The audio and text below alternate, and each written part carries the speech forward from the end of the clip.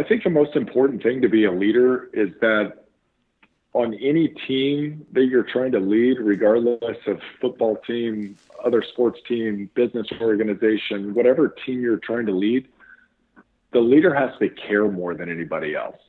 And the leader can't just say he cares more than anybody else. He has to show that he cares more than anybody else. He has to put more time in, put more sweat equity in, be willing to go further, work harder, work longer, than everybody else in that organization because I promise you, I'm not going to follow somebody who doesn't care as much or more than me. And I think that's one common thread that both Brees, Rivers, and Doug Flutie had is that they cared more than anybody else about the outcome of the game. And, and part of it is they were wired that way. They were just uber competitive.